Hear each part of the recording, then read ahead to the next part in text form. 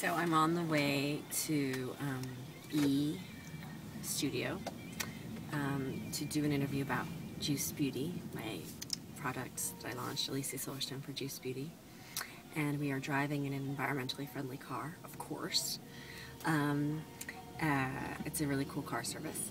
And I'm wearing my Juice Beauty lipstick and my um, Alicia Silverstone for Juice Beauty, uh, what do you call it, highlighter and powder. Course I used the cleanser this morning, why wouldn't I? It's delicious. And what can I tell you? I've got cool, oh, these shoes. I'm not wearing them right now because they're too high. But Olsenhaus Pure Vegan, there's only one truth. These shoes, I think they're pretty hot.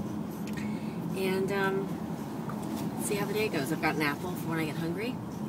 I've got my lunch. Oh, last night I made um, black-eyed pea croquettes for my book that are insane, and I brought them and I brought the meat. What else did I bring with me? Oh, my rice that I made. I made some brown rice with um, what did I put in it? Wheat berries and sweet rice. Excellent combination. And my husband steamed some greens and packed it all up for me this morning. Isn't that sweet? And uh, so I'm off to work today. See you later. Hi, Gina. Hi. What are you reading?